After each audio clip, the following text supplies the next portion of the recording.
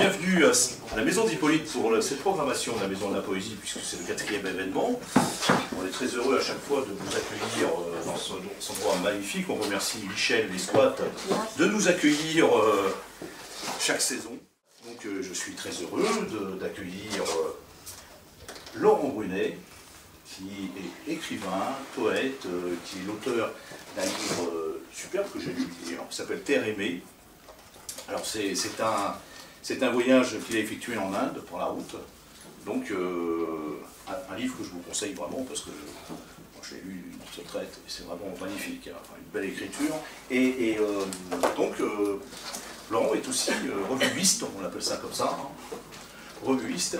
Alors, la revue Lisière est une revue, déjà esthétiquement, c'est une revue absolument somptueuse. Euh, un format à l'italienne, on l'appelle ça comme ça, enfin, un format vraiment pratique. Et, euh, alors, c'est, euh, Laurent a choisi de, de, mettre en avant un auteur, une œuvre en tout cas, ah, c'est ça, sous la forme d'un entretien. donc là, c'est Jean-Luc Parent, qui est aussi un poète qui fait des performances, qui, qui est plasticien. Euh, je crois que tu as aussi fait un entretien avec Philippe Solers. Oui. Je crois que le livre est disponible ici et, euh, et d'autres. Euh, alors, je, Kenneth White aussi, hein, Kenneth White qui est encore disponible. Donc, il y a aussi le livre, le dernier livre de Kenneth White qui est là aussi présent sur, sur la table. Donc, je suis très heureux de, recevoir Laurent hein, pour ce quatrième événement de la Maison de la Poésie. Je vais vous laisser avec lui discuter, échanger, mais il va faire une présentation à la fois de la revue et aussi de son travail de, poète et d'écrivain. Bienvenue à toi. Ben, merci beaucoup pour cette invitation. Merci à Michel qui, nous accueille. Merci à vous, euh, présents ici. Alors, comment commencer? C'est une aventure euh, qui a plusieurs, euh, comme un soleil qui rayonne, qui reçoit plusieurs aventures autour de l'écriture, autour des mots. Mais qu'est-ce que le mot euh, sans le silence et vice-versa hein? Si le, mot n'est pas nimbé de silence, euh, il perd beaucoup de sa valeur et, le silence peut être aussi euh, finalement non divisé du mot, à mon sens, dans, leur noblesse réciproque. Il se féconde l'un l'autre. Donc si on ne divorce pas les deux, on a quelque chose d'assez vivant et sensible qui palpite. Alors ma, modeste aventure autour de l'écrit, ben, elle se situe... D'abord peut-être dans un contexte historique et le fait que j'ai fait des études d'art plastique. Donc c'est un, point intéressant pour moi parce que ça réunit pratique, en l'occurrence dans mon cas pratique de la peinture, et réflexion théorique. D'où l'écriture, d'où la réflexion esthétique euh, et une sorte de cheminement de critique d'art indépendant qui a été le mien euh, plus tard. Alors dans le, panorama de mes, mes actions, de mes activités euh, ayant à l'écriture ou à l'édition, effectivement, Terre aimée occupe une place euh, première au sens historique du, terme, c'est-à-dire que j'ai euh, d'abord voyagé euh, dans les années 90 vers l'Inde, effectivement, comme l'a dit Bruno, par la route. Il faut s'entendre par la route, j'ai pas marché tout du long, j'ai quand même commencé par une longue marche d'un mois vers la Suisse, et ensuite je me suis déplacé par tous les moyens de transport imaginables, l'autostop, le bus, le train, etc. Et cette, cette, ce, récit, je l'ai construit à partir de notes à l'époque, notes prises toujours sur le vif, hein, au jour le jour. Et puis ensuite, dès mon retour, j'ai senti le besoin de cristalliser ça vers un récit. Mais cette histoire-là, donc écrite en, 1992, elle a su une, une, vocation comme ça temporelle, amusante, puisqu'elle a été seulement éditée en 2016. Donc ça nous fait un grand arc de temps.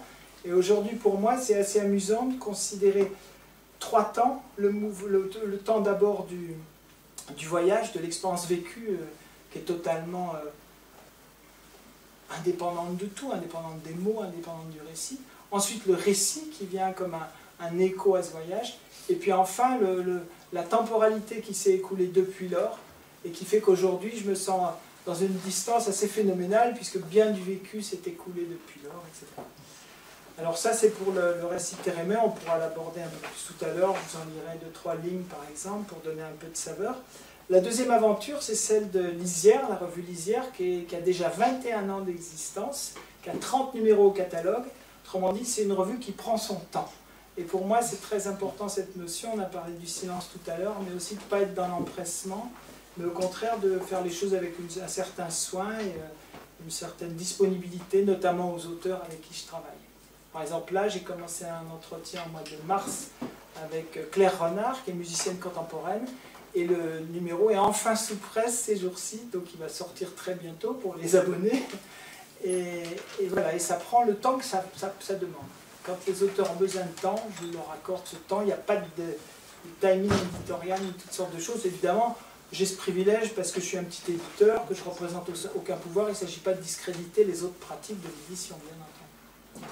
Et alors la troisième aventure encore plus récente, bonsoir, à la faveur de mon travail avec les éditions Vagamundo qui est à Pont-Aven, maison d'édition indépendante également, ben, à un moment j'ai été, euh, comment dire, euh, à la fois euh, j'ai proposé, été, on m'a proposé de devenir directeur de collection. La collection s'appelle Improbable et le premier livre publié est celui donc de Kenneth White, comme Bruno l'a mentionné tout à l'heure. Le titre du livre c'est Borderland. Donc voilà, entre auteur d'un livre, revuiste pour reprendre le vocable et euh, directeur de collection, voilà un peu comme un, petit fil qui se trame autour de, l'écrit. Alors je vais peut-être euh, vous lire trois lignes de, de Térémé parce que ça c'est dans la deuxième l'ouverture de la deuxième partie. Pour moi ça reflète un peu l'état d'esprit qui, qui, préside à ce voyage, mais aussi peut-être qui préside à toute une existence. Le titre de premier chapitre de la seconde partie s'appelle Voyager sans guide. Ce que je recherche et aime en voyage, c'est la découverte et les surprises. Aussi, je ne lis ni n'emporte aucun guide. On me dirait comment vivent les gens que je vais rencontrer?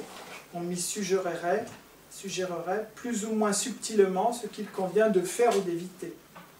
Il s'agirait d'emmagasiner un certain savoir, puis d'en vérifier sur place la validité. Quel ennui. Ce qui me guide suffisamment, c'est la carte que je consulte pour mon itinéraire. Je continue ce voyage en autostop. J'apprécie entre tous ce moyen de transport pour rencontrer les gens. Le chauffeur qui vous accepte dans son véhicule s'engage gratuitement.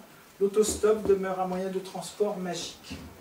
Nulle certitude, nul horaire, sont garanties. L'imprévu est roi, tout repose sur la cordialité. Alors voilà cette disposition euh, sans trop de choses prévues, avec quand même en même temps, euh, par exemple concrètement pour la randonnée pédestre que j'ai faite, là je m'étais préparé parce que je marchais en automne-hiver, euh, j'avais ce qu'il fallait techniquement, des bons vêtements, des bons souliers, enfin des choses de base. Mais je dirais qu'au-delà de ça, effectivement, les cartes. Pour moi, c'est le seul guide. La carte, on la regarde, on rêve dessus et puis on suit un certain parcours. Mais au fond, le, guide de voyage, euh, à proprement parler, c'est vrai que je l'ai utilisé euh, pratiquement jamais dans mes voyages. Alors ça donne qu'on passe à côté de beaucoup de choses, indéniablement, je, l'assume, hein, c'est pas du tout une vantardise de ma part, mais ça correspond à mon, à mon tempérament. Le plaisir de rencontrer les choses, on va dire comme elles sont et surtout comme elles nous apparaissent, comme elles viennent à nous on vient vers les choses, on vient vers les lieux, mais les choses réciproquement viennent à nous. Et cette manière de ne pas trop planifier, moi je l'adore. Après, euh, il y a eu des, choses, à, des choix, des orientations. Par exemple, en Inde, euh, très vite, enfin, je choisis de ne pas aller dans les endroits touristes. Pourquoi? C'est comme ça, j'avais plus envie de m'immerger avec la population, alors il se trouve concrètement que au lieu d'aller dans les hôtels, les pensions pour Européens ou pour touristes plus ou moins fortunés à l'égard de l'Indien de base, bah, j'ai tout le temps été, alors soit j'avais une tente, soit je campais dans les campagnes, dans les villages, soit euh, j'étais hébergé, et alors aussi il y avait une troisième formule qui s'appelle les Chaudhry Dharamsala, c'est-à-dire ce sont des pensions vraiment pour les pèlerins, des pensions vraiment populaires pour les Indiens vraiment pauvres, et donc pour quelques roupies, j'avais juste une paillasse, et encore dans le meilleur des cas, et là-dedans, je mettais bah, mon tapis de sol, mon duvet, et je dormais comme ça. Et cette façon de voyager, c'était pas de ma part. Euh, enfin, c'était pas ostentatoire, mais c'était vraiment une façon d'être en phase avec le voyage tel que je le concevais, tel que je l'aimais. Et j'ai fait pareil, euh, des longs périples avec les routiers indiens, donc je voyais plus un blanc, entre guillemets, pendant des semaines, et j'étais vraiment heureux de ça. Après, j'étais heureux aussi de rencontrer des touristes par ailleurs mais je me rendais compte que j'avais plus plaisir et, que c'était plus naturel pour moi d'aller à la rencontre de, de l'autochtone, de, la personne vivant sur place, et sous toutes les formes, chauffeur routier. J'ai eu des choses incroyables en Inde, comme gens qui m'ont pris en stop. Alors, c'est aller du char à bœuf qui m'a emmené sur une période donnée, mais le plus drôle, ça a été un, cycliste. J'avais quand même un sac de 20 kg sur le dos, et le gars, quand il s'est arrêté en vélo, j'ai fait un grand sourire, mais j'ai refusé. Par contre, j'ai été emmené en moto. Mmh. Alors là, c'était savoureux, le moteur très content. Il m'emmène avec sa moto, comme ça, il me dit Où vous allez Where do you go Alors il m'emmène comme ça, il fait 10, 20, 30 km au milieu de nulle part, vraiment, dans une route comme ça ombragée, délicieuse de l'âne, il s'arrête. Et il me dit, voilà, euh, bon voyage. Et en fait, bonne chance. J'ai compris qu'en fait, il avait fait ce voyage strictement pour m'accompagner un temps, dans une pure générosité, totalement désintéressée, par le, plaisir, comme ça, un peu fanfaron, de, de, fanfaronner sur sa moto, moi derrière avec mon gros sac. Et quand il a estimé que ça suffisait, que le geste avait, avait bien porté, il m'a laissé là. je l'ai évidemment compris qu'après. Après euh, voilà, c'est des petites saveurs comme ça du voyage qui, qui, restent. Alors, tout ça est loin de moi aujourd'hui. Les, autres aventures, comme la revue, euh, c'est des aventures à la fois. Ben, je dirais, dans ma vie, il y a deux pôles, comme sans doute chez tout être. Hein. Enfin, voyageur, nomade et sédentaire. Ces deux pôles font, font partie de ma vie. Aujourd'hui, un peu plus sédentarisé, puisque je vis dans les monts d'arrêt à m'occuper euh, d'une rénovation assez, euh, qui demande beaucoup d'énergie. Je retape une maison depuis déjà six ans. Et, euh, et, la revue Lisière bah, témoigne un peu des deux, des deux pôles, c'est-à-dire qu'elle est à la fois vécue comme activité sédentaire, puisqu'il faut une certaine constance. Elle me fait rencontrer des gens au fil des déplacements, et surtout, je dirais que chaque rencontre est un voyage. Chaque être qu'on rencontre, c'est un grand voyage, et que je dirais qu'on aille vers les gens, comme ici ce soir, c'est une forme de voyage, mais chez soi aussi, quand on reçoit quiconque chez soi, pour moi c'est toujours un dépaysement, à l'instar d'un voyage. L'autre nous fait voyager. C'est ce que j'appelle un peu le voyage maïeutique. On, se redécouvre à, à l'aune de la rencontre, à l'aune aussi des choses qui nous déboussolent, qui nous surprennent, comme euh, un nouvel exemple dans Terre aimée, quand euh, je passe 35 heures dans un train au Pakistan et que je me retrouve dans un compartiment avec un couple pakistanais, et que là, qu'est-ce que je découvre? Eh ben, L'absolue incapacité que j'étais de juger ou d'exiger quoi que ce soit selon mes critères d'occidental, à savoir l'envie de parler avec la, la, chair et tendre autant qu'avec le bonhomme, ben non.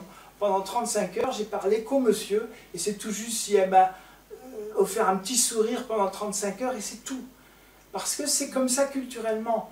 Alors j'avais ni à le juger, ni à m'en plaindre, ni à revendiquer, ni à même à poser la question à l'homme, mais au contraire acceptant pendant 35 heures de tout mon être de vivre cet autre conditionnement que le mien, sans jugement, sans évaluation comparatiste, comparative. Et voilà, après qu'est-ce qu'il en reste?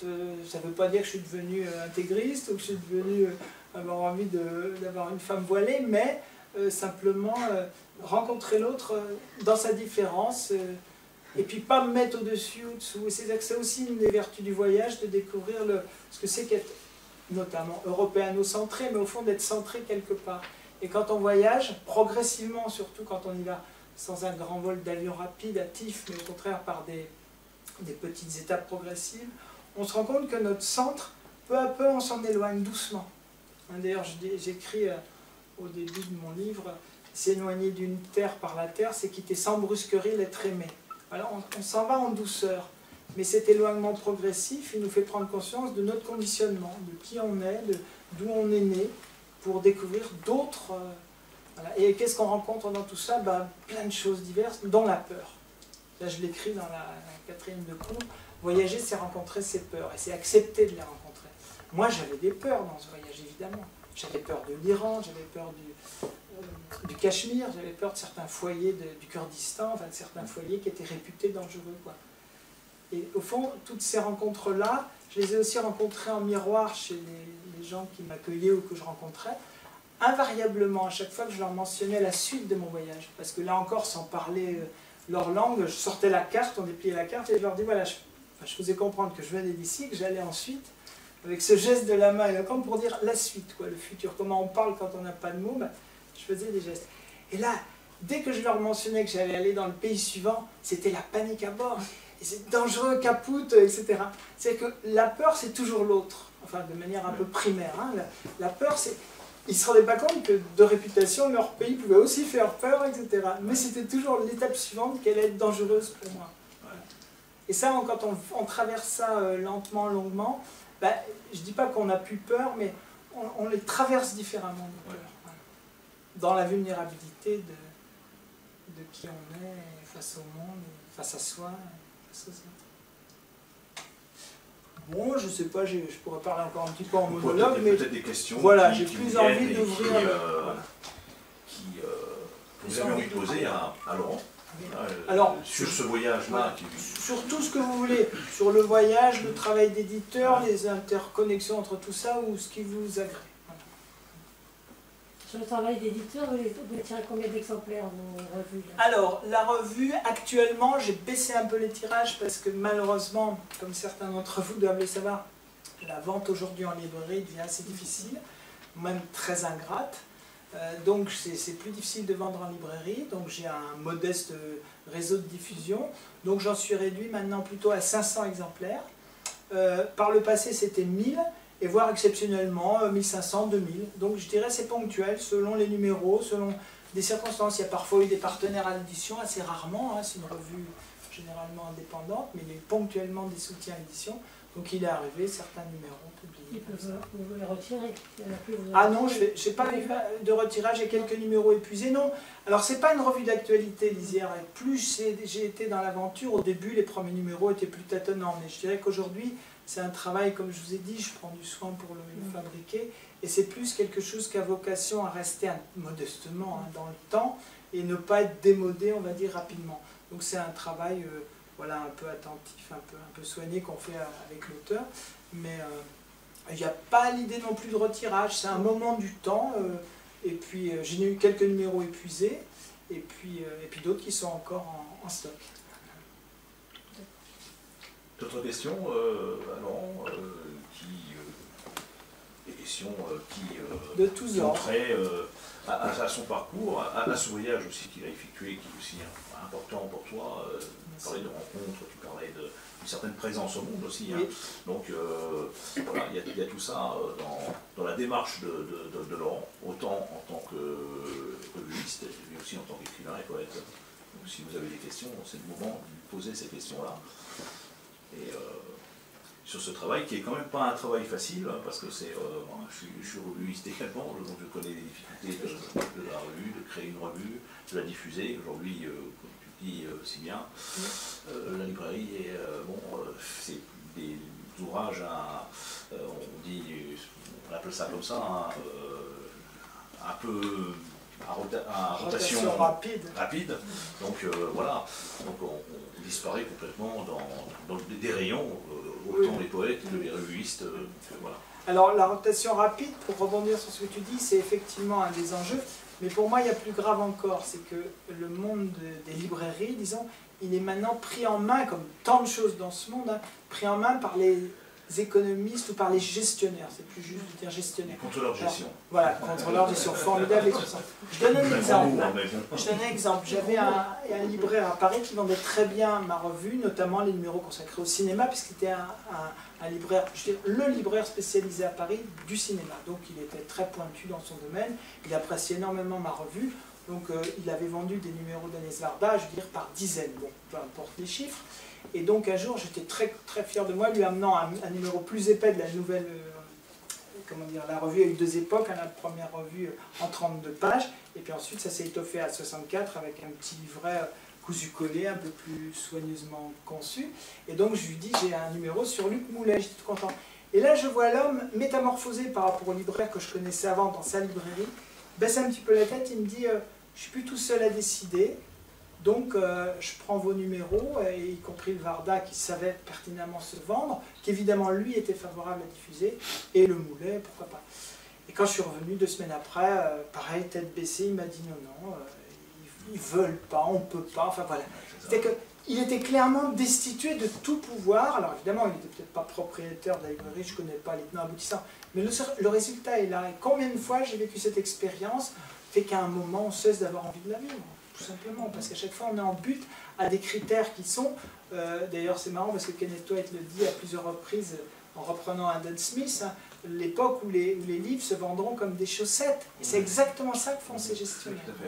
Il ne s'agit pas de gémir ou de se plaindre, mais de garder un œil critique sur l'état du monde Il dans parle même de lequel... littérature fast-food, euh, me semble-t-il, aussi dans, dans- dans cet ouvrage. dans- Oui, bien sûr. On est vraiment dans cette logique euh, économique très. euh, Par contre, tu peux aussi nous parler peut-être des, des rencontres que tu, as- que tu as faites et, les portraits, de- parce que tu nous éclaires dans cette revue euh, sur les œuvres de certains écrivains, comme Philippe Solers, on en avait parlé d'ailleurs. Oui. Je trouve que c'était très intéressant la rencontre que tu as faite Oui, avec Philippe Solers. Tu peux nous en dire euh, Bien sûr. Alors, d'abord, c'est une revue interdisciplinaire. Donc là encore, il y a un éclectisme assez large puisque j'y rencontre euh, des, écrivains, surtout des plasticiens, artistes peintres, plasticiens, etc. Beaucoup. Et puis euh, des chorégraphes, euh, des composi- musiciens-compositeurs. Donc c'est des créateurs, on va dire, des chorégraphes, des musiciens, cinéastes. euh, bon. Et donc, effectivement, chaque rencontre est construite autour de l'auteur, tout simplement. Et pas l'auteur ponctuellement, comme je disais, mais plus un regard sur son œuvre. Ce qui fait que généralement, il exceptions, choisis plutôt des, des- plutôt des personnes qui ont un certain parcours. Je rencontre rarement des jeunes créateurs, mais... Donc, euh, que, oui, tu peux aiguiller peut-être ta question un Oui, peu euh, plus justement, euh, cette rencontre avec Solers, parce que Oui, euh, notamment. Euh, généralement tu, tu- tu effectues des entretiens. euh, Alors oui, Par correspondance ou alors Non, euh, tu vas non. rencontrer directement Très les. important, C'est ça, oui. je précise la question. Voilà, d'accord, tout à fait. Alors le principe de la revue, qui dès le début a été construit, construite autour de l'entretien, donc de la rencontre, que j'effectue par moi-même, toujours euh, dans l'instant présent, pas à distance, pas rédigé. hein. C'est vraiment quelque chose auquel je tiens beaucoup. C'est- C'est-à-dire jouer aussi sur la finesse de l'articulation entre l'oral et l'écrit. Ouais. C'est-à-dire que, autrement dit, l'entretien est-il un genre littéraire? Bon, Ça, c'est une des questions qui m'intéresse. Qu'est-ce que c'est qu'un entretien? C'est un genre hybride. C'est pas de la conversation tout à fait puisqu'on le retranscrit, mais c'est pas non plus de mode de l'écrit strict puisque c'est pas écrit avec euh, le même contrôle, la même maîtrise, le même travail poussé qu'un écrit. C'est donc vraiment un genre hybride. Alors évidemment, quand on rencontre des gens comme Jacques Lacarrière, aussi Philippe Solers, Kenneth White et d'autres, hein, y compris dans les domaines non littéraires, là on a affaire à une parole extrêmement brillante où on sent que le, euh, même devant le débeauté de questions inattendues, le, le sens du mot de la phrase, c'est des joyaux. Ouais. Moi j'ai des souvenirs comme ça euh, par cœur de, de passages avec Jacques Lacarrière, pas seulement parce que les formules sont belles, mais parce qu'elles étaient amplement vécues.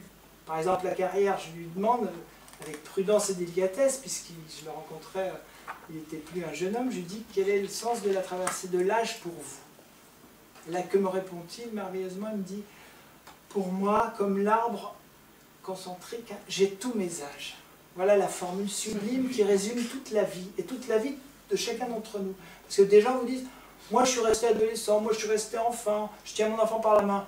Belle histoire, c'est un Ouais. peu le cliché. Ouais. Tandis que là, il y a quelque chose de beaucoup plus profond et beaucoup Ouais. plus global, non divisible. Et c'est vrai que c'est tous l'expérience qu'on peut faire existentielle, hein, là Ouais, encore maïotique. On est tout à la fois tous nos âges. Pour moi, j'ai tous mes âges. C'est très simple Ouais. et c'est très profond à la fois. Oui, c'est vrai. Et comment vous choisissez vos thèmes ou les gens que vous rencontrez? Alors, effectivement, vous avez posé la bonne question. Je choisis toujours des auteurs avant des thèmes. Et le thème se dessine au fur et à mesure en travaillant. Mhm. Hein, C'est-à-dire que euh, je vais vers un auteur. Alors, pour différents mobiles, il n'y a pas un mobile unique, parce que la revue, d'abord, je l'ai dit, elle est éclectique. Moi, je le suis aussi. Et j'ai des choix ou des modes de, de rencontre qui sont très variés. Alors, ça peut aller de la passion pour un auteur, de l'affinité, je veux dire passion, c'est pas le mot juste, de l'affinité. Par exemple, j'ai une affinité particulière avec, euh, on va dire, Kenneth White et aussi avec Jacques Lacarrière, ça c'est clair. Il y a des gens qui m'interpellent, il y a des gens qui me, qui me questionnent, et je ne vais pas toujours aller vers des gens avec lesquels je suis, entre guillemets, d'accord, notamment les plasticiens. J'ai rencontré des gens parce que leur pratique était assez en, en, disjonction avec d'autres auteurs. Il y a des peintres que j'aime beaucoup dans ma revue, d'autres vers lesquels je suis plus en retrait. Mais ma- enfin, il y avait toujours une certaine estime, disons, de la qualité en, général de l'œuvre. Mais c'est- des motifs assez divers qui me font aller. Mais toujours avec... euh, euh, alors en fait, ce que je dis, oui, qui est très simple, j'aime bien cette formule. Soit je vais vers des gens que personne connaît. Ça arrive, j'ai fait quelques numéros que j'aime beaucoup sur euh, Jean-Michel Bossigny, qui est un musicien contemporain très peu connu, sur euh, Georges Romatier, qui est un peintre euh, aujourd'hui défunt, qui, a été un ami et quelqu'un que j'ai côtoyé, sur qui j'ai travaillé un peu toute ma vie. Et là, c'est des personnes dont mon, souhait et mon plaisir, c'est de les faire connaître, puisqu'ils sont au départ peu connus. Les gens que je connais, je vise à les faire connaître. Mais inversement, les gens qui sont très connus, eh ben, je les découvre à neuf, puisque pour moi, quand euh, je vais vers eux, je ne les connais pas à titre personnel. Donc vous voyez, c'est un mouvement presque contraire. Plus les gens sont sous les feux de la rampe, plus j'aime aller voir ce qu'il y a vraiment derrière l'apparence médiatique. Et à ce titre, je ne vous dirai pas certaines anecdotes, mais il y a des déceptions, il y a des personnes qui sont décevantes, parce qu'entre l'image publique et la, et la rencontre, ben, il y a des écarts. Et à l'inverse, il y a des très bonnes surprises, comme effectivement euh, Philippe Solers, qui pour moi, alors attention, je suis pas, j'abonde pas dans toutes les approches de Solers, loin de là, j'ai même des points de, je vais pas être d'accord avec quiconque d'ailleurs, de me rendre, enfin, il y a des points vers lesquels je ne me sens pas du tout en affinité avec sa sensibilité ou avec ses partis pris esthétiques, etc. Mais par contre, la rencontre a été certainement un moment très fort de mon expérience d'édite, ça c'est certain. Donc euh, voilà, il y a des. Et donc là, je veux dire, rencontrer quelqu'un de sérieux, de profond, de dense, qui est à l'opposé de l'image du troublion que certains ont. Et d'ailleurs, je m'en suis rendu compte parce que j'ai présenté ma revue à des librairies qui l'apprécient par ailleurs, et je me souviens d'une personne qui refuse littéralement de le, de le représenter dans sa librairie. Je dis, bon, soit, pourquoi? Vous l'avez lu? Non. Et ça, j'ai entendu cette parole-là un nombre de fois incalculable, où je l'ai lu il y a très longtemps, etc. Les gens entendent, ont des préjugés. Alors, je ne dis pas que les préjugés sont infondés, hein. il y a une part peut-être qui est fondée. Mais fondamentalement, tout ce jugement qui peut naître euh, du, préjugé. Et j'ai rencontré ça quand j'ai voyagé aussi sous une autre euh, forme. J'étais en Turquie, puis il y avait un discours vraiment dans ces années-là, donc je répète, les années 90, il y avait un discours sur le vieux Kurdistan qui était très alarmant, le terrorisme, etc. Puis j'entendais ce discours-là qui me faisait peur, effectivement. Je me disais, oh là, si je vais à l'est de la Turquie, qu'est-ce qui, que va-t-il m'arriver? Puis à un moment, j'ai entendu une voix, deux voix, trois voix, quatre voix, et comme je l'écris dans mon, dans mon livre, j'ai réalisé que toutes ces voix diffractées avaient une source unique, qui était la source politico-médiatique. Hein. en Turquie ou en France ou aux USA, c'est partout pareil, ou en Russie ou en Chine, Et eh bien, quand j'ai compris ça, du coup, cette peur-là, c'est comme dégonflée comme une baudruche. Bien sûr, il restait euh, une question, le vrai danger réel que je pouvais encourir, etc. Mais quand on comprend qu'un discours est répétitif comme ça, eh bien, on se doit de le, comprendre et de le dépasser. Et à ce moment-là, la perception qu'on a d'un auteur, d'un pays change. D'autres questions peut-être Je vais vous poser une question euh, sur votre voyage en Inde, mais je tiens d'abord à, vous dire à quel point euh, la manière dont vous voyagez euh, et la façon dont vous l'avez exposé me réchauffe le cœur parce que c'est exactement la manière dont je voyage moi. Et en relation avec le titre de votre livre, lorsque vous avez parlé de cette attitude face à l'étranger que l'on rencontre, à l'autre, en fait, ça demande une véritable humilité. Et l'humilité, en fait, le radical étymologique, c'est l'humus, c'est la terre, donc en rapport avec le titre de votre livre. Ma question c'était, qu'est-ce qui en Inde vous a le plus remué l'être? Hmm, D'accord. Eh ben, à ce moment-là, je vais évoquer non pas ce voyage-là, Terre aimée, mais quelque part ce qui a fondé euh, le titre. C'est-à-dire pourquoi je parle de Terre aimée envers l'Inde.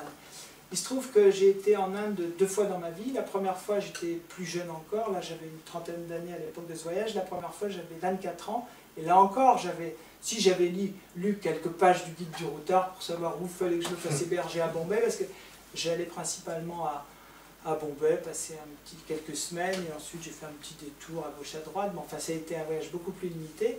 Je suis allé en avion, j'avais jamais quitté l'Europe de ma vie. Et quand je dis l'Europe, j'avais été en Angleterre, en Suisse, enfin c'était très commode. Et là, soudain, après en plus euh, un vol en transit, ça m'escale à Damas, des attentes, enfin j'étais extrêmement fatigué. Et j'arrive à bout de force dans une Inde dont tout violemment m'a repoussé. J'ai trouvé ça, tout ce qui m'insupportait, la chaleur, la promiscuité, les insectes, la puanteur, enfin la pollution, il y avait tout quoi. C'était l'horreur. Je dis honnêtement, ce jour-là, je n'ai eu qu'une envie, repartir. Par bonheur, mon billet était un billet charter non remboursable, enfin on ne pouvait pas changer. Donc, je reste un peu contrit comme ça. Et puis, euh, dans la même journée, hein, du matin au soir, j'ai vécu tout et son contraire. Et à ce moment-là, je vais passer sur les anecdotes, mais je me suis senti profondément en amour pour ce pays. Et d'une manière, comme on tombe amoureux, c'est-à-dire de manière totalement irrationnelle. Ça veut dire qu'il y a eu symboliquement à un moment une petite fenêtre en rouge et puis un violon carnatique dans les rues, comme ça. Mhm. Et c'était comme une mythologie indienne, mais qui me touchait non pas dans la tête, mais en plein cœur. Et, de ce jour-là, je ne sais pas pourquoi, comment, j'ai été en harmonie avec l'Inde. Je me souviens un jour, parce que les Indiens pour ça sont, sont merveilleux, enfin, Krishnamurti disait que c'était le pays le plus souriant au monde. C'est vrai que j'ai fait l'expérience de sourire fréquemment, et c'est un sourire, je précise, sans cause. Hein. C'est pas par intérêt, pour l'argent du tourisme. Je me souviens un jour comme ça, je, je, croise un Indien, puis il me voyait visiblement heureux, et, et la formule des Indiens, souvent, c'est euh, Yurapi Amapi. Bon. Mais là, ça prenait du sens, parce qu'on s'est rencontrés comme ça l'espace de quelques vous, si je dois traduire, je, vous êtes heureux, euh, oui, vous êtes heureux, je suis heureux. Votre bonheur me rend heureux. Mais là, ce n'était pas des mots, c'était vraiment quelque chose qui était né d'une rencontre très, très fugitive du cœur et qui ne s'est pas prolongée. Et qui voulait dire quoi? Qui voulait dire on ressent soudain l'autre, on l'accueille dans le tréfonds il se passe quelque chose et qui avait rapport aussi avec le fait que j'étais heureux et à mon aise dans son pays. Voilà, dans cet endroit-là, dans ce moment-là. Donc je dirais que pour répondre à votre question, tout est histoire de cœur. Et ensuite, le voyage, le second, cette fois-ci que j'ai fait lentement par la route, ben, il avait un petit peu, comme si on retombe vers une ancienne, d'anciennes amours, de voir si j'éprouverais encore aujourd'hui, avec euh, moins de dix ans qui avaient passé, si j'éprouverais encore ou non euh, le même euh, bonheur, le même plaisir en Inde. Et ça a été le cas. C'est-à-dire que j'ai passé cinq mois en voyage, dont deux en Inde, et je dois dire que dès que j'ai passé la frontière pakistano-indienne, il y a quelque chose de magique. Alors après, on peut toujours se demander si c'est notre imagination, notre romantisme, hein, je n'exclus rien. Mais il y avait quelque chose là qui était, euh, c'est comme musical, qui chantait à mon cœur, qui chantait à mon être en totalité. C'est des choses assez peu rationalisables, mais je les ai vécues tout mon être et je suis pas revenu en Inde depuis, mais c'est quelque chose qui, demeure euh, comme ça, qui est là je pourrais répondre de mille manières à votre question, mais ah, c'en est une limite. D'autres questions qui euh, pourraient vous éclairer sur, euh, à la fois sur le travail de, de revuiste de, Laurent et de son itinéraire euh, en Inde, avec ses rencontres, cette, tous ces, chemins de hasard, hein, parce que c'est quand même, on peut les appeler comme ça, c'est des chemins de hasard, c'est des, des, chemins qu'on emprunte comme ça sans, et qui sont euh, quelque sorte, on défenestre le réel. Quoi. On est vraiment dans une espèce de, fissure, on fissure le réel, quoi, pour vraiment parvenir à, quelque chose. Et, le réel nous fissure aussi. Et le réel nous fissure aussi dans ce dans voyage. nous ajourer, nous espacer. Donc euh, voilà, c'est cette notion de voyage là aussi qui peut, il y a peut-être des questions qui, qui peuvent. Euh, on conclut dans cette et on, poursuit le voyage autour, parce que les livres sont là. le, voyage peut se poursuivre aussi dans les livres. Hein, c'est, euh, euh, d'ailleurs, c'est fait pour ça, d'ailleurs. C'est pour prolonger le voyage. Le livre, il est là pour prolonger le voyage. Et chaque lecteur. Oui. Avez-vous approché l'hindouisme, la, culture hindouiste? Alors, je vais être très franc, de la même manière que j'ai dit que je lisais pas de guide, j'ai pas non plus euh, essayé de. Enfin, Bon, j'avais dans ma bibliothèque, mais beaucoup plus jeune, des livres sur la Bhagavad Gita, etc. Mais j'ai pas, euh, comment dire, approché ça d'une manière, on va dire, théorique. Par contre, vous me demandez si je l'ai approché, oui, bien inévitablement. Quand on vient dans un pays comme ça, on le rencontre. Mais je peux dire que ma rencontre était assez superficielle. J'ai été dans quelques ashrams, euh, certains agréables, d'autres tout à fait insupportables. J'en parle un peu dans, dans Térémé. Euh, en fait, c'est la, multitude hein, des religions. Alors aujourd'hui, c'est un peu plus compliqué parce qu'on ne peut plus parler aujourd'hui, à l'heure actuelle, de ce qui se passe en Inde, que moi je vis à distance. Hein, donc je ne peux pas donner un témoignage de première main, mais à l'époque où j'ai voyagé, il y avait une, vraie tolérance, ou en tout cas une cohabitation, on peut dire. Tolérance, c'est peut-être un mot fort, mais il y avait une vraie cohabitation. Aujourd'hui, ça se tend un peu, comme partout dans le monde, j'ai l'impression. Mais euh, voilà, alors peut-être vous voulez une question plus précise sur l'hindouisme, euh, sur le polythéisme, sur... Euh, oui, peut-être. la confrontation des deux cultures, la vôtre qui est originaire judéo-chrétienne, l'approche hindouiste, parce qu'il y aurait eu des, des, frictions, voire des, au contraire des, mariages heureux dans votre pensée autour de ça. Alors, moi il se trouve que dans, je peux répondre à votre question assez précise. Il se trouve que dans ma jeunesse, j'ai lu euh, très tôt des choses sur le bouddhisme. Et tout de suite, ça a parlé aux rebelles en moi quand j'ai lu euh, si quelque chose, euh, si quelqu'un, ou si même des millions de personnes vous disent qu'une chose est bonne et vraie à suivre, mais qu'elle n'est pas vraie pour vous, ne la suivez pas. Ça m'a plu, ça. C'était le Bouddha qui disait ça. En tout cas, des retranscriptions du Bouddha. Bon. Alors, il y a eu d'une certaine manière comme ça la pensée indienne par effraction qui est rentrée dès ma jeunesse, mais comme ça, sans, que j'y... Après, j'ai pas fait... Si, j'ai lu deux, trois choses sur le bouddhisme, mais je me suis jamais appesanti là-dessus, puis j'ai eu d'autres lectures, Krishnamurti par exemple, etc. Alors quand je suis allé en Inde, ben, je dirais que j'étais... J'ai un ami qui un jour a trouvé une belle formule, il a dit « l'Inde, notre mère à tous ». C'est un sentiment que je trouve profondément juste. C'est-à-dire qu'il y a des pays qui sont plus ou moins accueillants, plus ou moins... qui nous, qui nous enserrent, qui nous prennent dans leurs bras, j'ai ressenti ça en Inde, et je ressens ça, je dirais, euh, physiquement quand j'y suis, je me sens à mon aise. Je ne peux pas dire chez moi, parce que je vous ai dit, il y a trop de choses qui m'insupportent, la promiscuité, euh, la chaleur, toutes choses que, avec lesquelles je ne suis pas très à l'aise, mais euh, il y a quelque chose sur le plan plus profond. Hein, et ça, c'est... Alors, aussi, une autre chose qui est remarquable, c'est qu'une quête intérieure, moi que j'appelle, oui, quête intérieure, là-bas, elle passe vraiment bien. Et ça, c'est assez unique aussi. C'est-à-dire que j'ai rencontré ça nulle part ailleurs à ce point-là, à ce degré-là. Donc il y a finalement, euh, oui, il y a un arrière-plan évidemment d'origine chrétienne en tant qu'occidentale de ma part, mais si vous voulez, il y avait très jeune, dans mon parcours, ça a été ensemencé d'autres euh, courants, à la fois de spiritualité, de philosophie, mais toujours sans dogmatisme. Et aujourd'hui, euh, dans les mondes arrêts, vous avez une spiritualité particulière de, la, rencontre de ces différentes cultures religieuses. Est-ce que dans les mondes arrêts, vous avez en regardant un slide se lever, euh, je sais pas. Alors, elle est belle votre question, elle me plaît. Euh, vous savez, je vais, je vais citer une anecdote euh, dans, dans les rencontres de ma jeunesse. C'est, je fréquentais un groupe de travail sur soi, une connaissance de soi, de quelqu'un qui était assez éclectique, qui était un homme assez savoureux. Puis je lui parlais, donc quand il y avait un nouveau qui arrivait dans le groupe, il se demandait qui il était. Donc moi je cite tout content, je dis voilà, j'ai lu un peu sur le zen, le bouddhisme, enfin de trois sources, quoi. Alors il m'écoute très respectueusement, puis quand j'ai fini de parler, il dit C'est très bien, vous avez butiné comme un papillon, c'est très bien, rien à dire. Mais il dit À présent, vous allez ouvrir votre propre livre. Et cette lecture est d'une toute autre qualité. je dirais qu'aujourd'hui j'en suis là. Et attention, mon livre, il n'a rien de, grandiose, de merveilleux. Il est très humble, très euh, parfois douloureux, parfois euh, joyeux, parfois il a toutes les couleurs de la vie, mais je dirais que si j'ai une spiritualité aujourd'hui, c'est surtout ma propre voix. Bien sûr, j'ai des inspirateurs que je dissimule jamais, euh, mais différents d'ailleurs.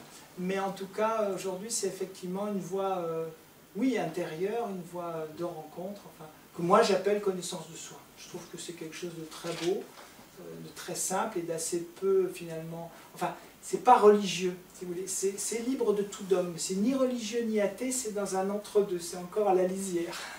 Oui, voilà, c'est la lisière, donc euh, la lisière, qui est le titre de la revue. Euh, et pour, euh, pour te tendre une perche et te rendre aussi hommage en tant qu'auteur, j'ai apprécié, tu t'en doutes, euh, qu'après notre rencontre, on, on, a échangé de livres et dans ton livre sur Kerouac, ce mot revient avec une ah bah belle occurrence. Hein. lointain 2, lointain 5, on a quelques lisières. Ça, qui... Et quelques lisières aussi, il y a quelques contours. Et oui, ah. et, tu sais que quand j'ai rencontré, enfin non pas rencontré, pardon, le premier contact avec Kenneth White, euh, quand je dis le premier contact, verbal, hein, avant que je l'ai lu dans ma jeunesse aussi, et quand je l'ai eu au téléphone, la première chose qu'il m'a dit, c'est Lisière, c'est un, un, de mes mots préférés de la langue française. c'est ça, oui.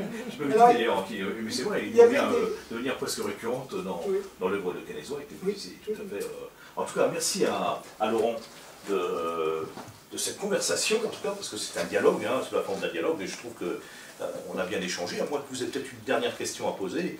Euh, je voudrais oui, qu'il nous lise encore un extrait. Ah ben, tu, tu, vas nous lire un petit extrait avant de, ah, conclure. Avec plaisir. Alors, par contre, puisque vous posez la question, dites-moi vers quoi vous pencheriez. Parce que... Non, non, allez-y. Ah Vous avez carte blanche. Surtout, parce que, surtout ne, ne pas euh, susciter la, la frustration. ben, écoutez, j'ai ouvert une page au hasard. Mmh. Bien, Comme ça, j'ai éludé le problème du choix. Et ça tombe assez bien. Donc là, il s'agit d'un passage où je, traîne dans un souk dans les rues, d'un souk euh, à. Une foule aussi dense oblige d'être constamment sur le qui-vive, si l'on ne veut pas bousculer ou être bousculé. Néanmoins, il règne ici une tranquillité bon enfant assez étonnante. Je fais ici une petite digression de mon livre, pardonnez-moi. Euh, j'ai appris à nager dans, dans, les corps humains en Inde. Par exemple, j'étais euh, parisien, moi, à une période de ma vie, et j'étais dans les bus, dans les bus ou les métros, quand on est compressé comme des sardines, c'est un contact assez peu agréable. Assez peu agréable. En Inde, serré avec sans doute deux fois plus de, tonnes au mètre carré, c'est une expérience incomparablement plus. Alors, je ne dis pas qu'après, il faut augmenter encore la pression, parce que ça devient étouffant. Mais la souplesse des corps, la détente physique des corps fait que c'est plus du tout la même expérience. Et je me souviens des contrôleurs dans les bus, je me disais, mais comment font-ils pour passer du début du bus et aller contrôler les voyageurs du fond du bus? Eh bien, ils nageaient dans cette marine, ils glissaient. Dans cette... Parce qu'il y a une fluidité corporelle qui est un peu euh, peut-être liée à ce que dès, dès l'enfance, les bébés indiens sont massés tous les jours, tous les jours, et que c'est pas du tout la même corporalité. Alors je reprends ma lecture.